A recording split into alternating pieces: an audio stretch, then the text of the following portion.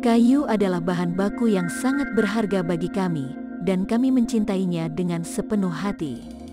Di antara produk-produk kami, salah satunya adalah HPL atau High Pressure Laminate.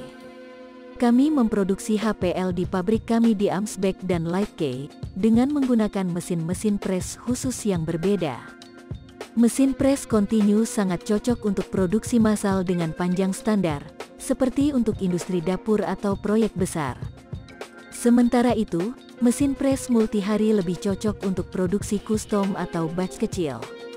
Tapi tidak peduli mesin mana yang digunakan, kami selalu mematuhi standar kualitas yang tinggi untuk memberikan produk HPL yang awet dan sempurna sesuai harapan klien kami.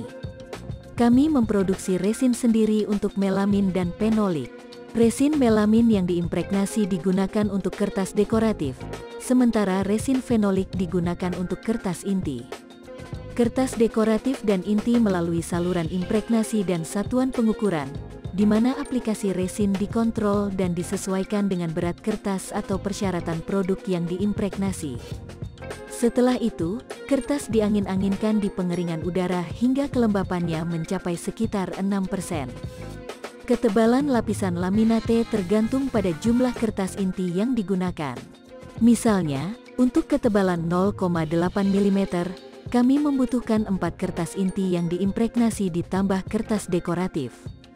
Lalu, kertas-kertas tersebut dipadatkan pada suhu lebih dari 120 derajat Celcius dan tekanan lebih dari 50 bar untuk membentuk tekstur permukaan pada pelat atau sabuk press HPL.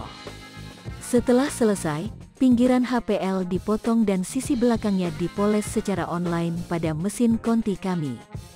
Produk jadi bisa langsung dijadikan elemen produksi atau panel laminasi untuk klien kami, yang juga mencintai kayu dan mencintai apa yang kami hasilkan. Kami bangga menjadi bagian dari industri kayu yang berkualitas dan selalu berusaha memberikan produk-produk terbaik kepada klien kami. HPL yang kami hasilkan tidak hanya awet dan sempurna, tapi juga indah dan menampilkan keindahan alami kayu yang kami cintai.